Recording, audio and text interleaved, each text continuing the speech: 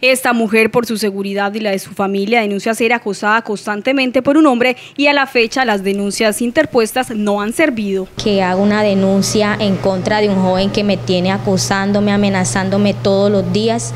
Ya he ido a la fiscalía, al CAPI, al 202.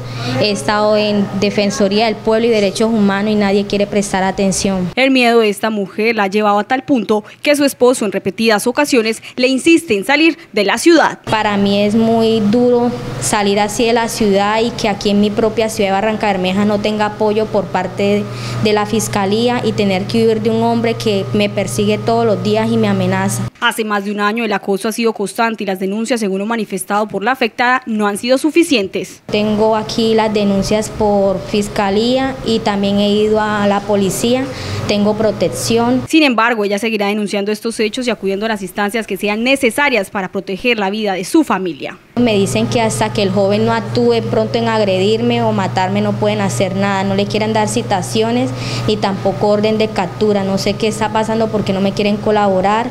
Estoy muy preocupada porque tengo una bebé de dos años y un niño de 10 años y no me quieren colaborar con el muchacho. Solo espera una intervención oportuna de las autoridades para proteger su integridad y la de sus hijos.